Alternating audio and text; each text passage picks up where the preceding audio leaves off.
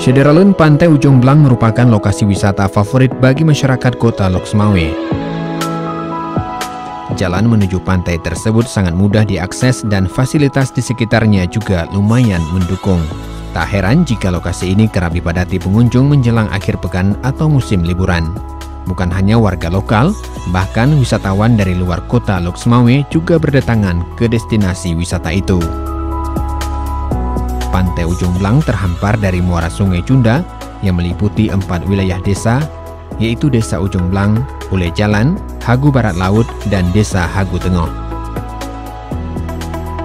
Di sisi lain, seorang perempuan sedang sibuk mengiris buah-buahan di dalam cobek batu dan kemudian diletakkan ke dalam piring untuk disajikan kepada pengunjung.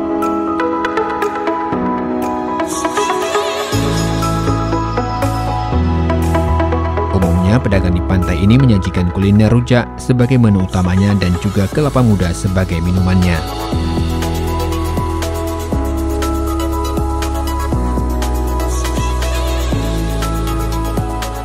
Dari sekian banyak pondok di tepi lokasi wisata pantai itu, ada satu pondok bernama Pantai Biru.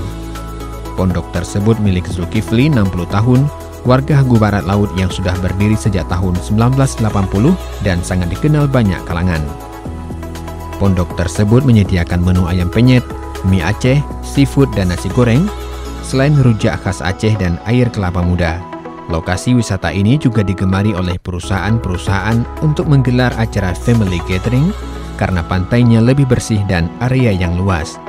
Zulkifli, si pemilik pondok merasa bersyukur walau saat ini di masa pandemi COVID-19 pengunjung tetap berdatangan menikmati Pantai Ujung Blang yang merupakan salah satu surga kuliner di kota Loksmawe.